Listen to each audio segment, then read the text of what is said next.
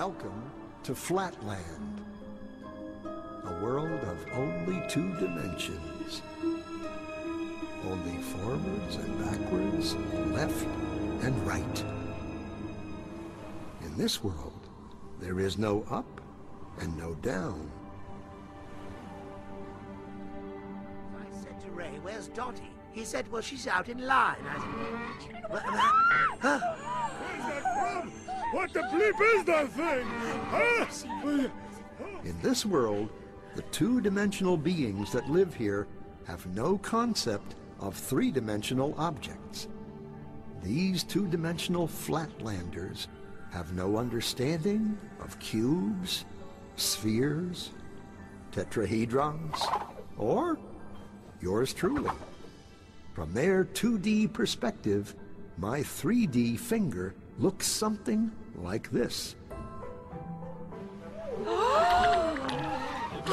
What the bladder does that?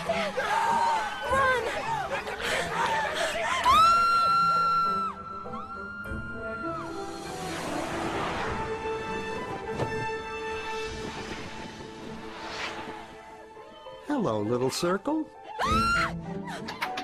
Uh-uh. Fear of the unknown. Or should I say, not yet known. It's a puzzle. If we see only what we know, how does anyone ever see anything new? The unknown. How do we ever get out of our box? Hello, little circle. Don't be afraid. Who said that? Where are you? This is always the tricky part to explain. I'm in another dimension, another space. I am above you. Never, never use that word. What word? The A word. Above? Ah! It's forbidden.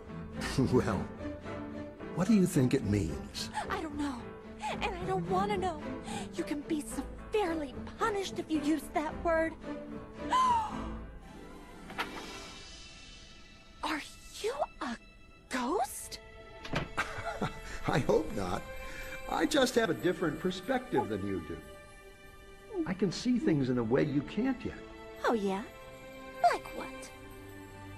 Well, okay, you have a safe hidden in your pantry. and inside it, you have 12 coins, a will, and a passport. How did you know that? What are you? You see, since I am above you, in the third dimension, I can see inside things in your world. Third dimension? You are a crazy ghost. There's only two. Look. So, if I were to touch the inside of your stomach, how would I do that? Well, you'd have to cut through my skin. Otherwise, it's impossible.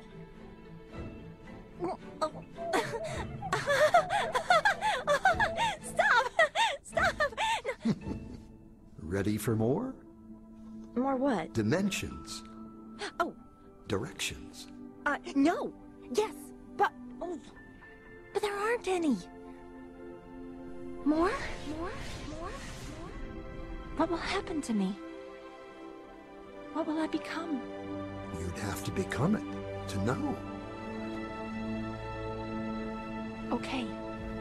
Excellent.